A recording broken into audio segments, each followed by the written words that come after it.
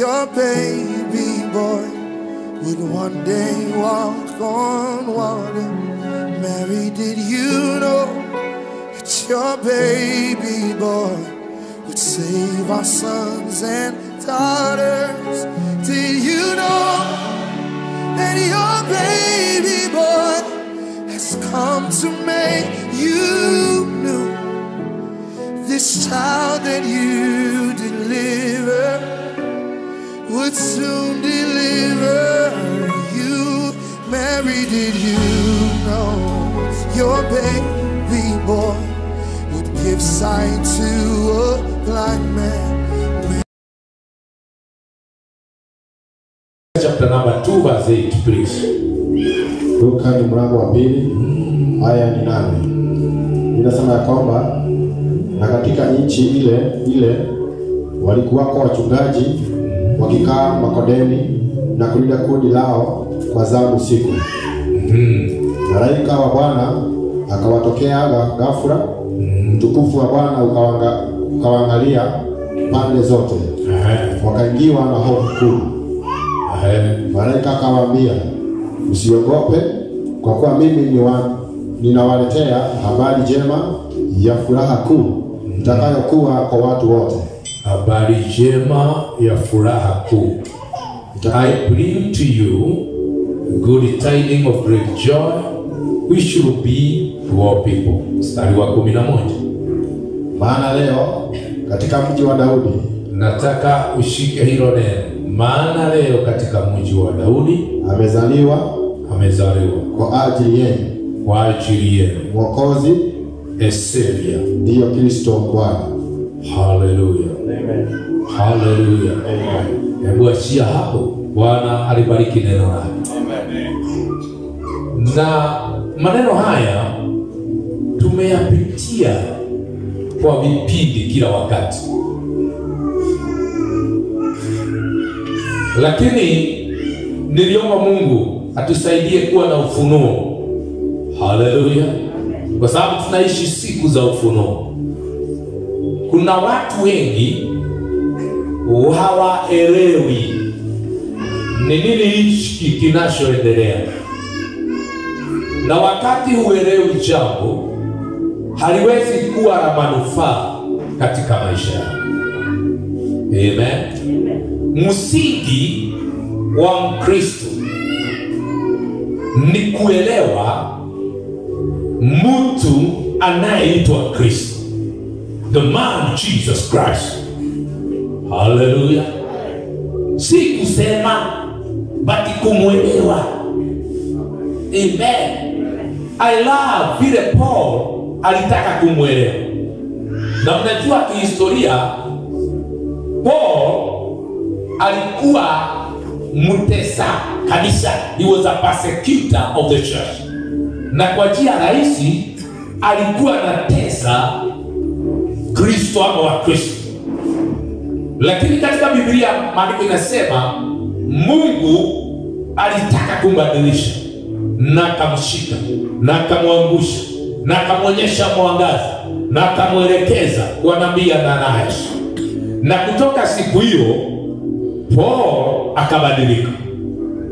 Amen. Alipobadilika haikuwa ni kumaanisha alimjua Kristo kitu kile Paulo alifanya katika mlango wa tisa wa Matendo ya Mitume ni kubadilika. Alibadilika, akafunuliwa siri na wokovu wa Kristo. Amen. Lakini hii ilikuwa ni mwanzo wa safari mrefu, kwa sababu tayari alikuwa na mambo ya kutosha kumtesa yeye.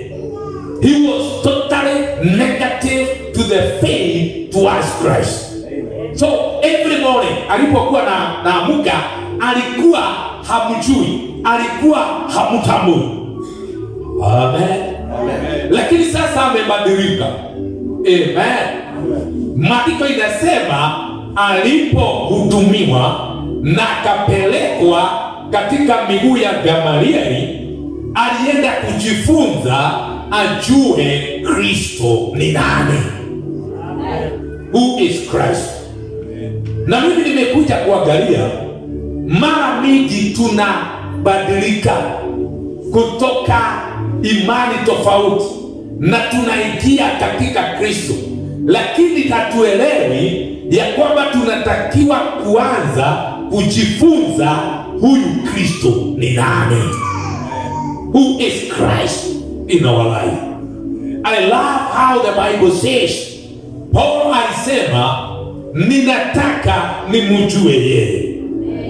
Amen. Sijui kama kuna mtu hapa alikutana na ile experience kama ile ilikutana na Paul katika wokovu. Nafikiri kama kungekuwa na mmoja hapa, watu wengine hawangekuwa wanaongea kwa sababu yake ilikuwa ni special. Hallelujah. It was a special inter, interaction na Christ, akaona mbingu imefunguka. Haleluya! Mpaka akauliza wewe ni nani? Mungu akamwambia ni mimi Mungu unayemtesa. So he had a unique experience ya kumjua yeye. Haleluya! Lakini maandiko inasema alitangaza, nimeanza safari mwathani Jesu arogocwo ya kuanza kumjua, nimjue uwezo wake, ni mjue nguvu zake, ni mjue pendo lake, nijue imani yake. Amen. Now this is what we are supposed to be doing as Christian. Why do we meet here and teach and talk? It's because we need to know him. Amen. Hallelujah. Amen. Katika haya maandiko ukiangalia, kuna mambo kadhaa ilinifurahisha pale mwisho mwisho. Malaika alileta utangulizi. Haleluya. Akaletea ufunuo huu kwa watu waliokuwa wanaitwa Kiswahili naita nini hawa watu? Mama jusi. Ni mama ya jusi ama ni nini hiyo? Eh? Hata mnasema nini? Mama juzi, Ngoja tuwaite hivyo tu. Wise man. Hallelujah. Huyu malaika alileta ufunuo. Akaambia wazee hao, hallelujah ya kwamba there is something which happened, kuna kitu imetendeka hapa, haleluya, ambao haijatendeka tu kwa ajili ya hapa Bethlehemu, lakini imetendeka kwa sababu Mungu ameukumbuka ulimwengu. Amen. Nao wakawa wamejaa na hofu. Aya ile mstari ya ya kumi inasema, then the angel said to them, do not be afraid For behold, I bring you good tidings of joy. Amen. Akamwambia habari ile imetendeka. Jambo la kwanza ni habari iliyo njema, a good tidings. Kwa lugha rahisi, it is a good news. Haleluya. Hakungojea mambo mengine, akaambia habari njema ni hii ya kwamba leo, haleluya na anasema is a good uh, tidings which will bring joy to all people, haileti furaha kwa watu wawili. Amen. Na ndiposa ninataka niwaambie, waweza kosa kujua kile unaamini, waweza kosa kuelewa ni nini una, unasemaga wakati umesema umeokoka, lakini you need to understand well, hii si kitu mchezo na hii si kitu kidogo. Amen. Habari ya kuzaliwa kwa Kristo, maandiko inasema ina uwezo wa kuleta furaha katika dunia nzima. Amen. Amen. Na watu wote wana haki ya kufurahia. Akaendelea kusema kumi na moja ya kwamba for there, for there is born to you this day in the city of David a savior. Haleluya. Katika mji wa Daudi leo kumezaliwa mwokozi. Sema mwokozi. A savior. Who is a savior? Haleluya. Nani anaweza itwa mwokozi? Ni mtu ambaye amekuja kwa njia zako wakati umekuwa ukielekea kuangamia amekukomboa wakati umekuwa umepotoka wakati ulikuwa unaenda kuisha the bible says amezaliwa kwenu mwokozi Hallelujah. who is this jesus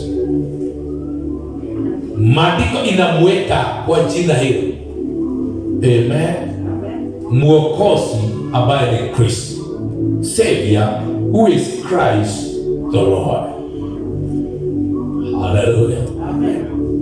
sijui kama wakati napotafakari maneno ya wokovu kama hili jambo linakuwa ni lako la kwanza. We need to understand who jesus is. We need to know his purpose. Haleluya sababu yake ni gani katika maisha yetu?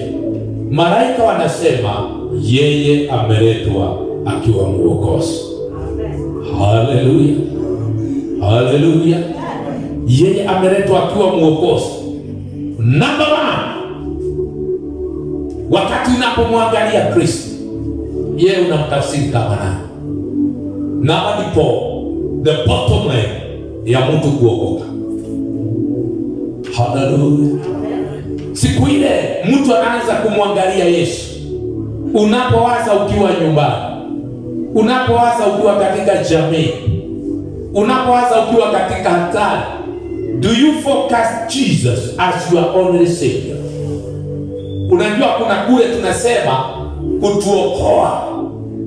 Haleluya na hiyo ndiyo alifanya alituokoa katika dhambi lakini ukiangalia he was not just there to save us from sin. Even in our day to day life he remains a savior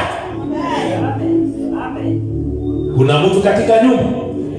Nasema hata kama alituokoa katika dhambi neno hili mkombozi ni ya kwamba hata siku ya leo na kesho anatukomboa. Why?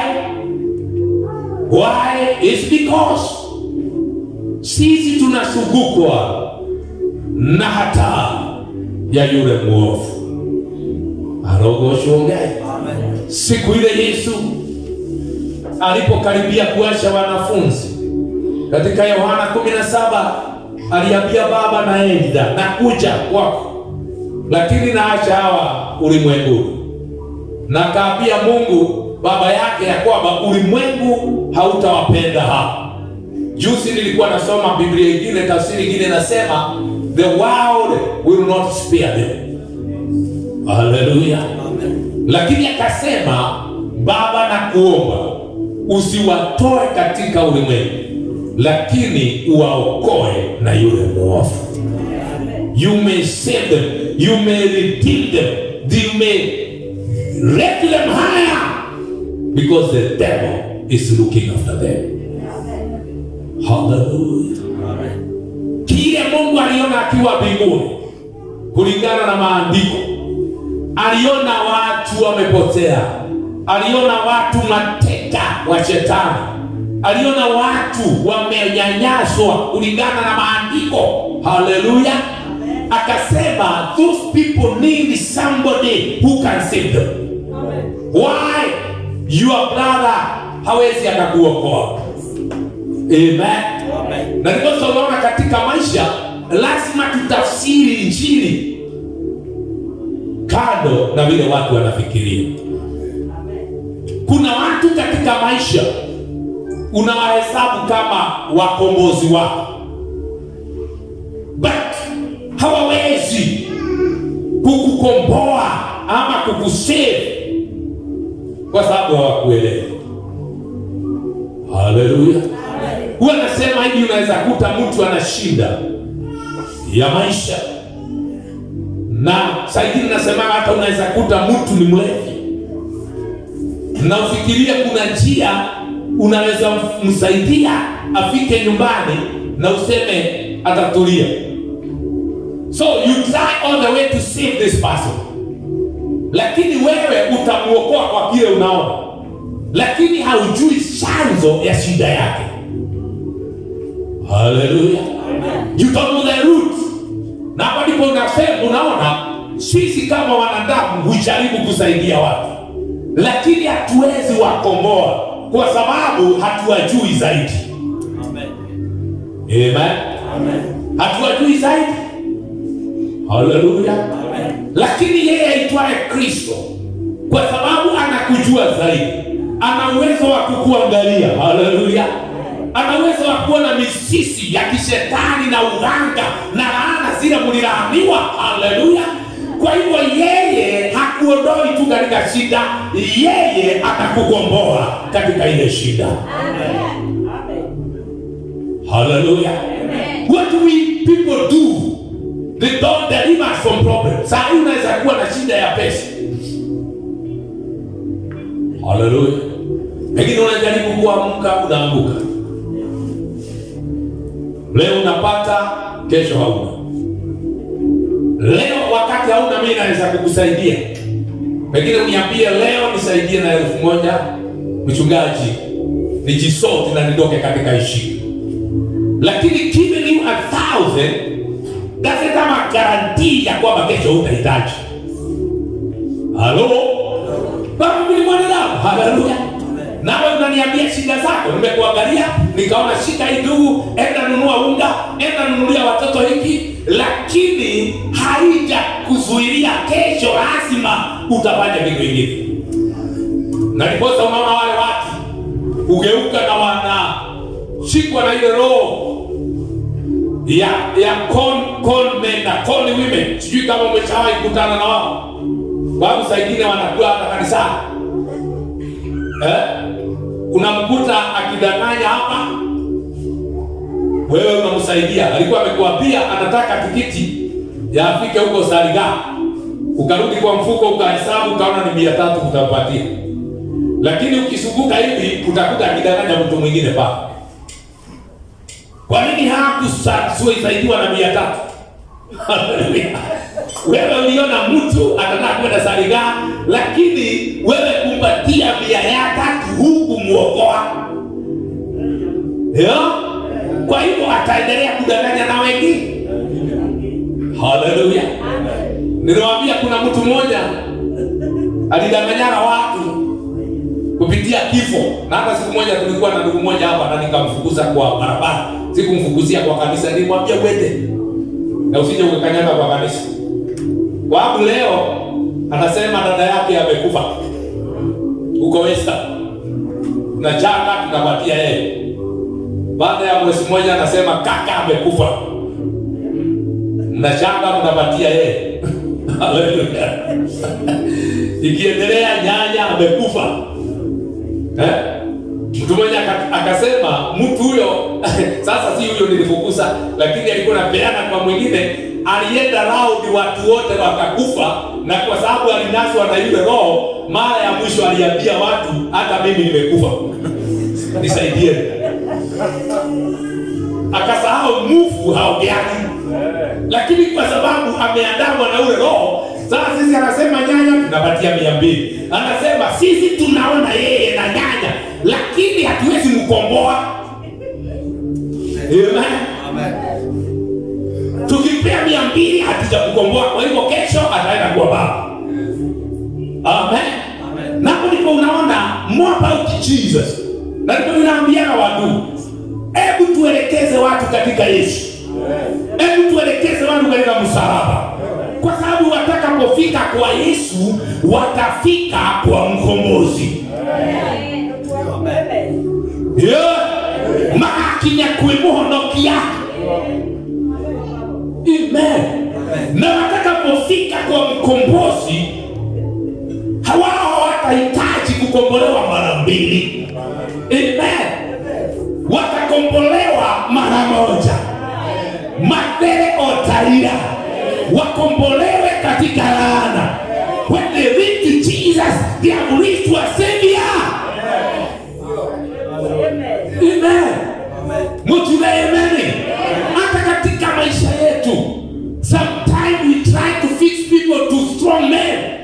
Eh, wakati shida inatokea tunamwambia that the strong man who can help you.